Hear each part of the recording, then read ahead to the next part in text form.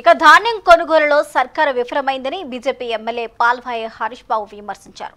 నెల రోజులైన ఇరవై ఐదు శాతం కొనుగోలు లక్ష్యం కూడా పూర్తి కాలేదు అన్నారు. సర్కారు వ్యవస్థ పూర్తిగా గాడి తప్పిందని హైదరాబాద్లో ఆరోపించారు. రైతులు అష్ట కష్టాలు పడుతున్నారంటూ ఆవేదన వ్యక్తం చేశారు. ఇక పది రోజుల్లోనే సీజన్ ముగియబోతుందని పదిహేను రోజుల్లో రుతుపవనాలు వస్తాయని ఇంకా వడ్లు కనుకపోతే ఎలా అంటూ హరీష్ బాబు ప్రశ్నించారు. వడ్ల కట్టింగ్ చేసే రైతులను దోచుకుంటున్నారంటూ కూడా దుయ్యబట్టారు. ఇవాళ వరి కొనుగోలులో రాష్ట్ర ప్రభుత్వం పూర్తిగా వైఫల్యం చెంది చెందింది. ఎందుకంటే నెల రోజులైంది వరి కొనుగోలు కేంద్రాలు ప్రారంభించి. వరి కొనుగోలు కేంద్రాలు రెండు సంస్థల ఆధ్వర్యంలో వరి కొందు కొనుగోలు కేంద్రాలు నడుస్తాయి. ఒకటేమో మహిళా సమాఖ్య మహిళా సంఘాల ఆధ్వర్యంలో వరి కొనుగోలు కేంద్రాలు. ఇంకోటేమో ప్రాథమిక వ్యవసాయ సహకార సంఘాలు ఎక్కడైతే ఉంటాయో వాటి కింద.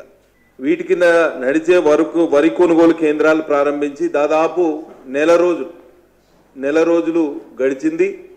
ఇప్పటికీ ట్వంటీ ఫైవ్ పర్సెంట్ టార్గెట్ కూడా వాళ్ళు రీచ్ కాలేదు. యాసంగిలో రబీ సీజన్లో వరి కొనుగోలు వ్యవస్థ పూర్తిగా గాడి తప్పింది.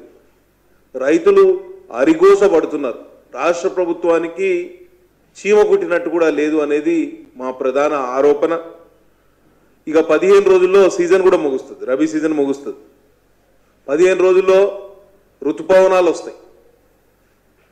ఒకవైపు అకాల వర్షాలు ఇంకోవైపు వరి కొనుగోలులో అలసత్వం.